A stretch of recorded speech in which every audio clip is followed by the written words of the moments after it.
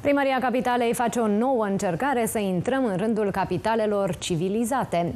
Asta înseamnă achiziția a 100 de autobuze electrice. Valoarea totală pentru cumpărarea noilor mijloace de transport în comun este estimată la 304 milioane de lei.